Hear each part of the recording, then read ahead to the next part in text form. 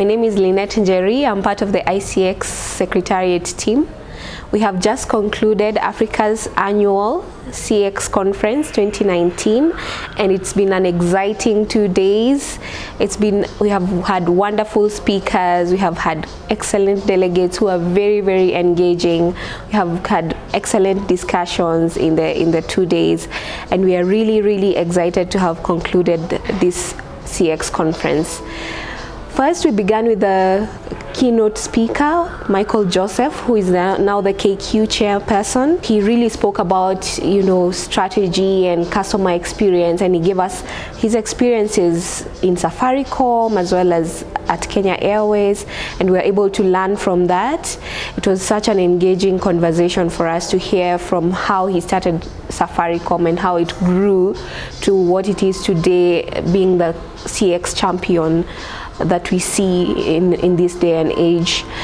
And the other speaker that came on was Sunny Bindra, who really had wonderful tips on customer experience principles. And he shared several, seven tips that were really, really focused on people. And one of the big things that he talked about is that we needed to look at the leadership.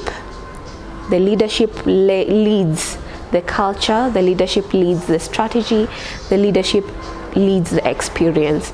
And for us, if leadership is not plugged in, then the whole organization goes down. If we don't take care of our people, everything goes down.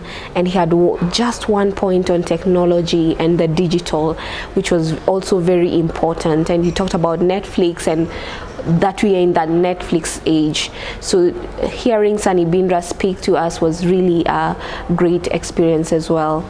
And then we had Mworia, James Mworia of Centum, who really spoke about um, culture.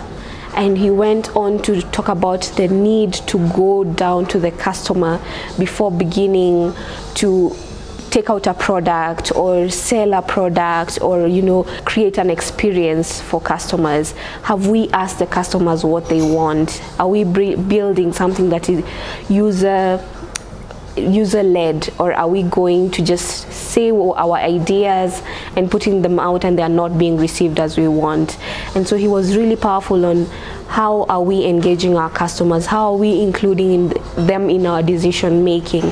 How are we including them in you know um, creating our products? And that was a very important point for us to to get from him. So that was an engaging, wonderful morning that we had yesterday on day one. So day one afternoon was Chantel Botha. She was really, really exciting and such a funny personality and she brought to life customer journey mapping for us. And it was very real because she looked at the different personalities in the room and every executive was really touched on and different solutions were offered on how to journey map what the difference between a journey map and a process map is. And she really broke down how do we go about ensuring that you're able to map the customer how are we able to include them as we map their journey so that they're able to really feel that we have understood them. She also talked about how do we cascade the journey map after we have created it so that everyone in the organization is able to understand that this is the journey map for the customer and this is how we need to treat our customers. And one thing that I really picked on is the need to cascade the journey map to different teams in different ways. For instance, if you're cascading it to the customer experience team, then that is different because they have to go into detail.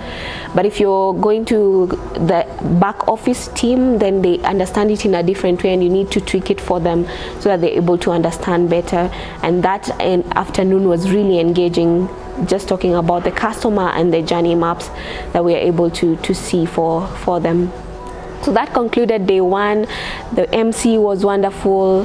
There was a lot of engaging activities. Uh, people won raffles from our sponsors, and it was really exciting and engaging to see people come in and th throw in their own experiences from the workplace and ask relevant questions. And that concluded day one in Ahai. It was an exciting day too today as we began with Richard Sebagala, a speaker from Uganda, and he really came in to speak about the internal customer and being able to cater to that internal customer for sustainable customer experiences for our external customers. And we really also looked at the leadership and where the leadership plugs in and uh, talked about how the fish rots from the head and that we needed to look at the head and examine the head and see that the head was able to connect to the rest of the body and, and that was really great with the different tools that he gave us to be able to sustain that internal customer engagement it was a wonderful morning that began with a lot of energy and a lot of punch. And then we had a mid-morning where we had different teams and we were looking to engage the audience because it, it, it's not enough to just listen and to input into people, but we need some output from people as well. And it was really great to have people in tables just be able to answer different questions about customer experience and to hear from them. And it was a bit competitive, and that was a wonderful mid-morning section for us.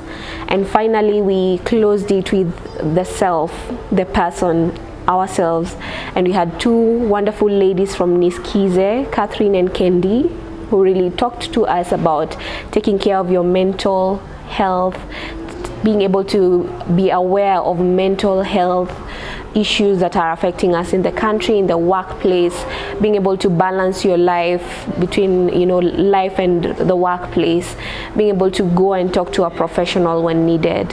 And that was really a wonderful session there, we're able to look at that the unconscious really does affect the conscious and how we behave and how that then manifests in the workplace. And so that was really engaging for us and people were able to ask questions without judgment and they were able to get wonderful answers from it. So we have concluded the conference with a cocktail, a wonderful cocktail that's um, helping people to network and get to know each other. And from there we'll be able to look at next year getting it bigger and better. Because as you can see this is the second annual conference. We had the inaugural one last year but we look forward to making the third annual conference even bigger and better and have value for our participants next year